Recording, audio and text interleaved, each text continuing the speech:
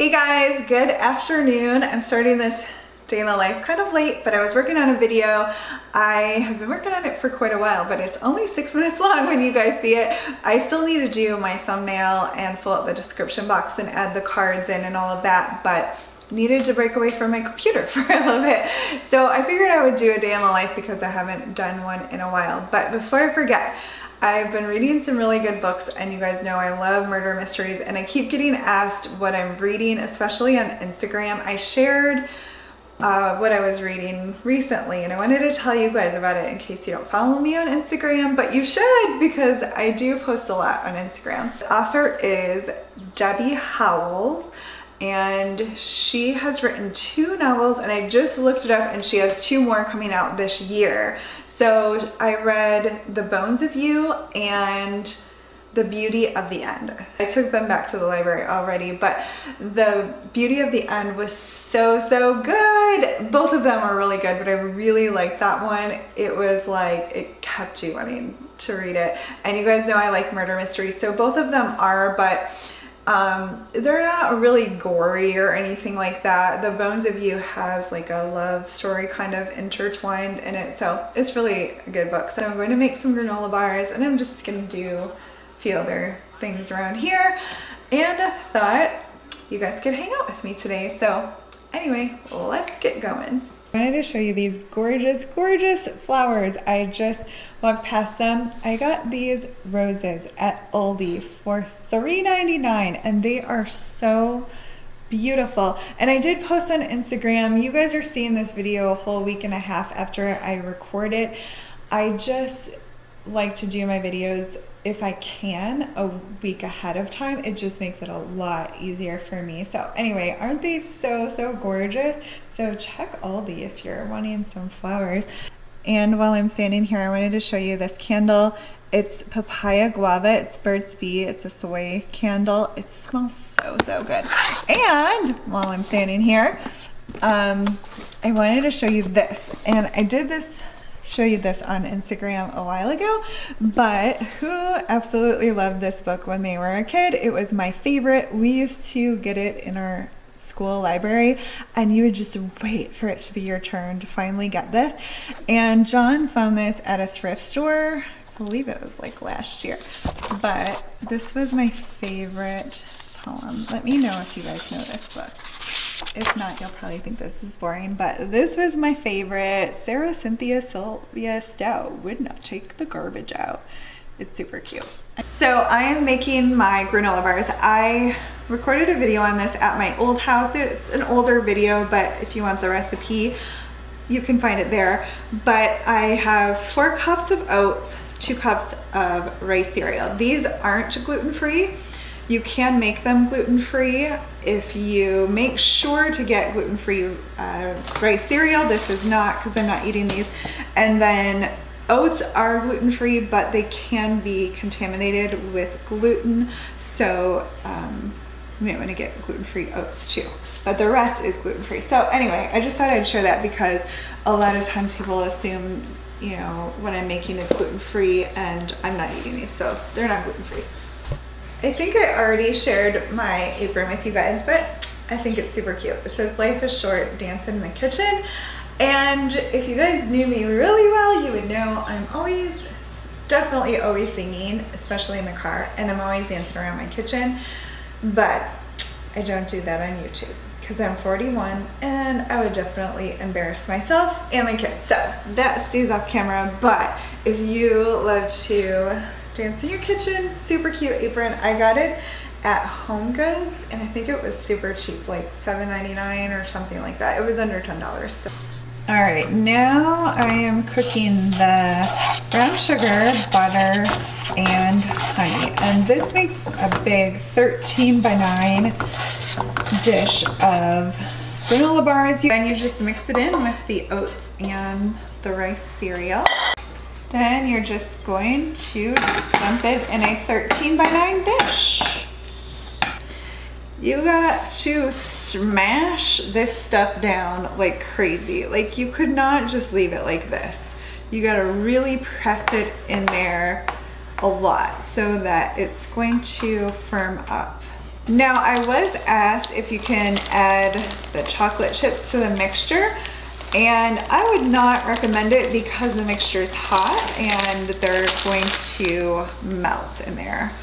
So they even melt just a tiny, tiny bit, putting them on top, but not, you can't really notice. All right, so I'm just cutting up some strawberries and blackberries. I rinse them with a little bit of vinegar that helps them to last a little bit longer.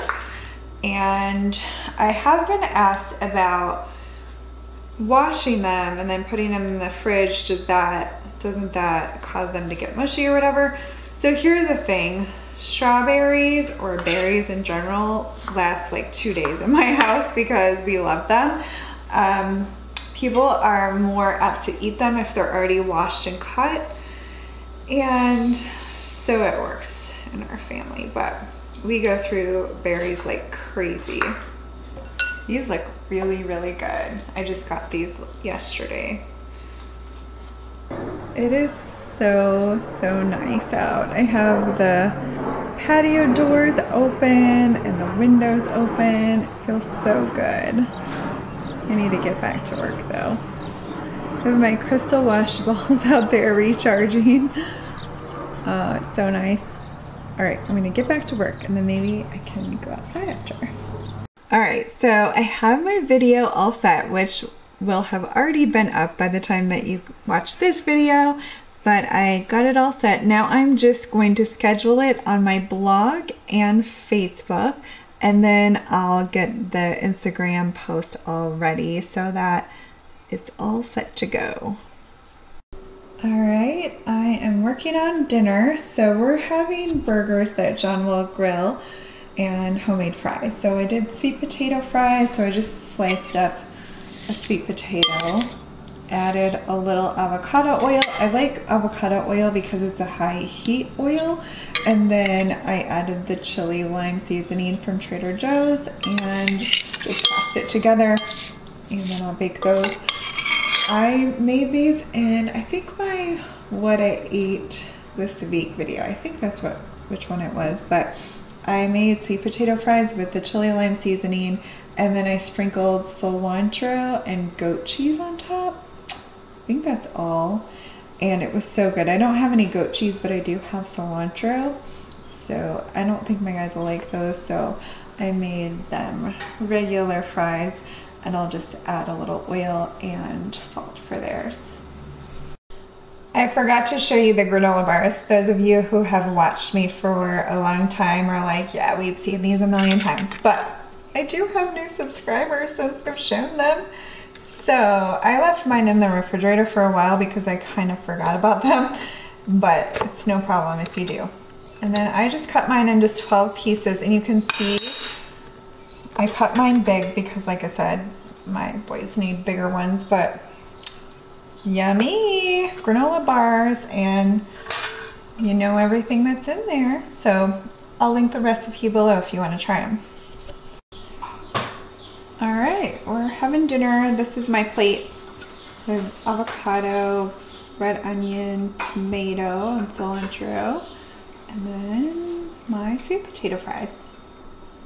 So John and I are headed to Lowe's to get a new glass door we were trying to decide on a front door. We were going to get the whole thing. We saved up the money, but we said, no, that's dumb. it was going to be a lot of money. And we were basically going to get the same exact thing that we have, but we have the Radius glass door. It's just a hunk of junk.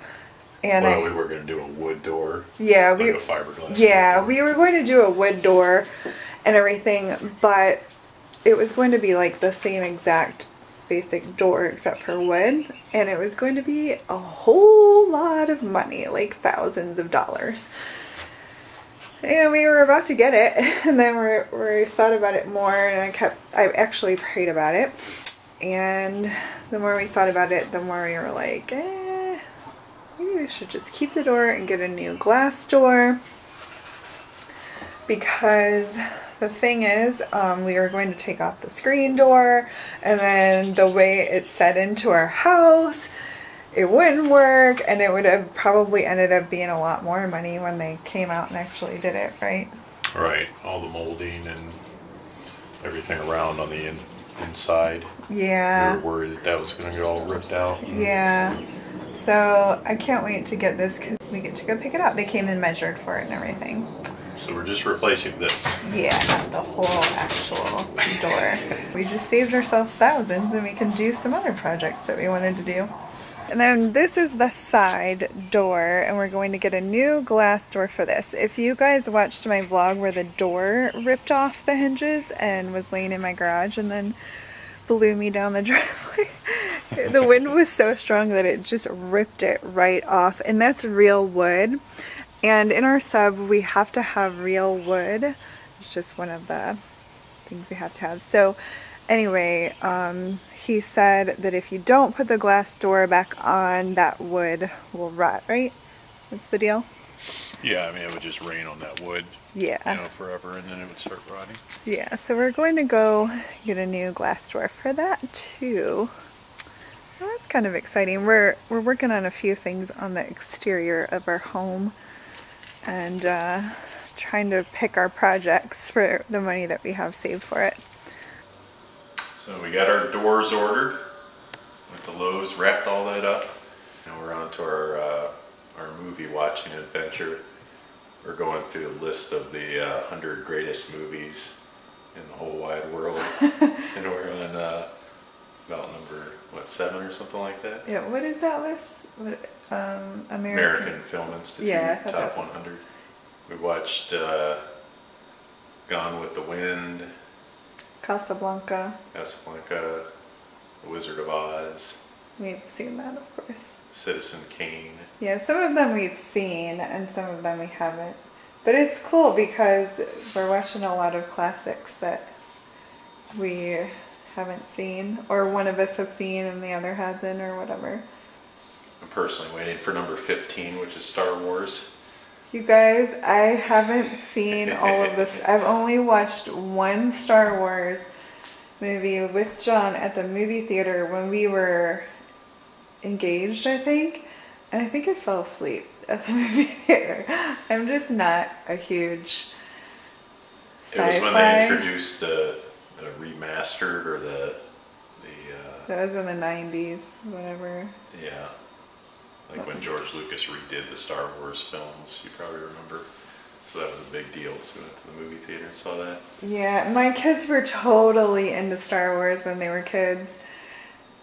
Know, they're still kids. I'm tired, but when, When, they, they, were used to be kids, they Yeah. were really into it. they- when they were younger, and they would tell me about the characters, so I can I can name off some of the characters, but I just never really watched it. John would watch it with them, but I'm going to. Now this list, if you're looking it up, it only goes up to 1998, so Yeah, it doesn't include a bunch of like newer films. Titanic and stuff. Yeah. it's not on there. There's another list we were looking at. It was a top 250 list, and that one had a lot of recent movies. I'll link I'll link the one that we're using below, but use your own discretion because you know I know some people. I'm just saying because some of them were choosing not to watch. Yeah, we're not going to watch all of them on the Yeah. list, but Anyway, we're gonna call it a night. As you can tell, I'm it's, it's past my falling asleep on the couch time. So she can barely hold the camera up I know. thing. I know I'm tired. Aw. Thanks so much for watching, guys.